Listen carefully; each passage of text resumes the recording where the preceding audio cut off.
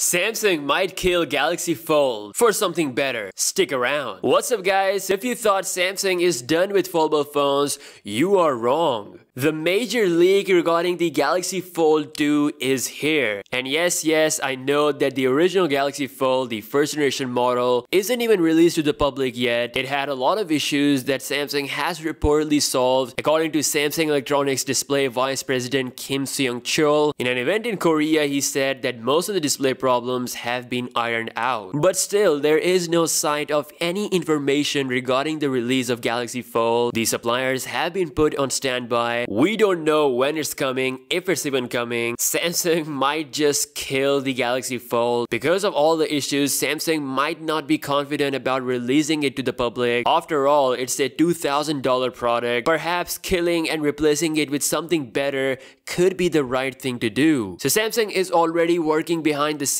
for a next generation of the Galaxy Fold 2 or you could say an improved version of the Galaxy Fold. This is an actual report coming from South Korea, not a patent or anything. A proper report that says Samsung is gearing up to release a mega Galaxy Fold 2 with some key upgrades as soon as possible. Yes, according to this Korean report, Samsung Electronics are preparing a second generation Galaxy Fold that has a 8-inch display, which is a little bit bigger than the 7.3-inch display of the Galaxy Fold, along with a much needed S Pen upgrade. The original Galaxy Fold, for some reason, there was no S Pen support for it, which didn't actually make any sense because this is a large tablet-like device and it must have the S Pen support. But now, the improved version of the Galaxy Fold or the Galaxy Fold second generation is said to have the support for the S Pen, similar to the Galaxy Note. Furthermore, it's been mentioned regarding the release of this device is that in December of this year, Samsung could announce it and it might be released to the public in the first half of 2020. The article further states that just before December, the November 25th day is the day when Samsung Electronics could launch a second generation Galaxy Fold. It's gonna have the same fold-in mechanism as the original Galaxy Fold, meaning the fold will occur inward. So no outward folding like the Mate X, Samsung is sticking with its inward folding mechanism and honestly, I just want them to nail the design perfect. At this point, I don't even care about if it's fold outward or inward. I just want a perfect Galaxy Fold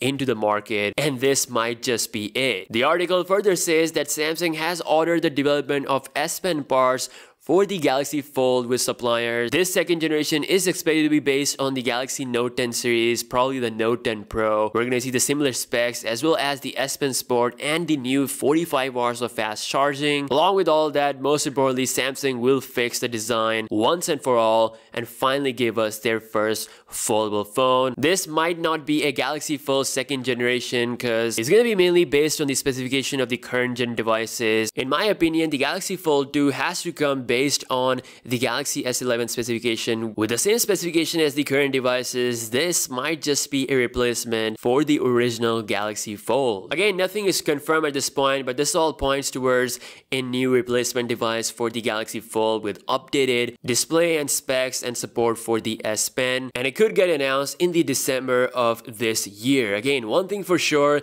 that Samsung is definitely working on a new foldable phone behind the scenes, whether it's a new foldable phone or an improved foldable phone, they are working on a new device, that's for sure, because foldable phones are definitely the next big thing. They are the next big innovation, and Samsung wants to be the best in it, and that's why they're doing what they're doing. All in all, this looks like a nice improvement. If they actually fix all the problems, then it's looking like a great upgrade, honestly. So let me know your thoughts regarding the second generation of Galaxy Fold League report. What are your thoughts? Do you think that Samsung will finally nail it this time? Let me know, and I'll see you guys in the next one. Peace out.